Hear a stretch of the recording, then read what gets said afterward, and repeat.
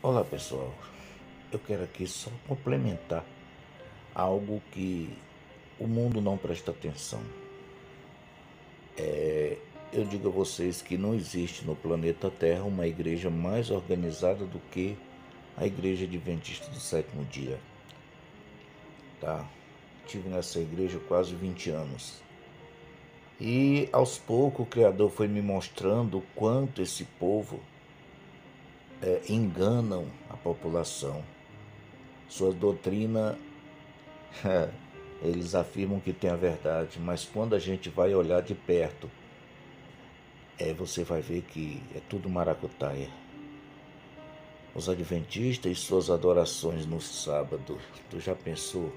Eu estou falando aqui, depois você acompanha a letra que a gente escreveu aí. É, essa questão de dele dizer que o sábado é um mandamento, isso é furado. Não é o sábado que é o mandamento. Foi tirado o verdadeiro nome do lugar e colocado o nome de sábado. O nome sábado no original significa Saturno. Saturdei, que quer dizer dia de Saturno. Isso na linguagem grega romana, né?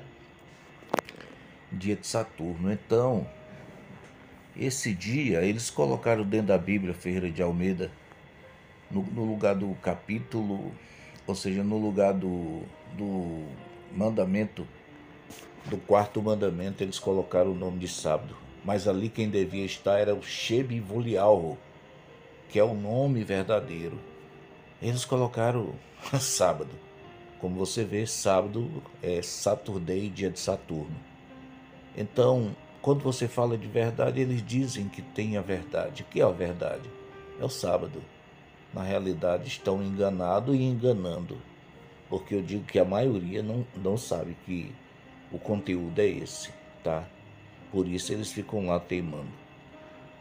Mas aí vem as suas adorações. Agora, o engraçado de tudo isso é que todo sábado eles se preparam e vão para lá para fazer o quê? Adorar Saturno. Porque a questão da escola sabatina é exatamente uma forma de adoração a Saturno, Saturday. Mas o engraçado é que quando termina essa adoração da escola sabatina, eles vão adorar os imperadores. Eles dizem agora é hora do culto divino. Quando você lê tudo que está escrito aí, você vai descobrir por que eu estou dizendo isso. Porque a palavra divino vem de Deus, dualidade, tá? Vem de Zeus, divindade, dualidade, tudo mitologia grega. Então eles, eles adoram realmente a esses elementos da mitologia grega. Não tem nada a ver. Então eu estou mostrando para você que quer entender o porquê que isso é um paganismo miserável, paganismo que vai levar muita gente para a perdição, viu? Porque é real, é verdade. Você pode ler aí a letra que eu coloquei. Ainda tem esse cavalo aí chamado Pegasus. Esse Pegasus, preste bem atenção que é, é um, um cavalo e ele tem o um nome realmente Sus, Pegasus, quer dizer, segura o cavalo, que é Sus no hebraico arcaico é cavalo. Então, você vê isso aí como é que tá. No lugar do nome Jesus, né? O Sus é cavalo.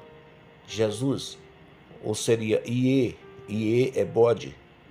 Então, Sus é cavalo.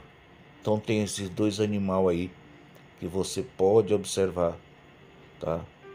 E assim essa parafernália de Deus, Jesus, Cristo, Espírito Santo, olha, não é brincadeira não. Então eu estou fazendo esse curto é, vídeo áudio aqui para chamar sua atenção para isso aqui, tá?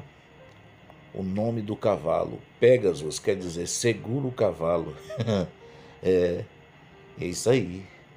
É, não devemos ter mais cuidado com aquilo que nós seguimos, ok? Um abraço a todos.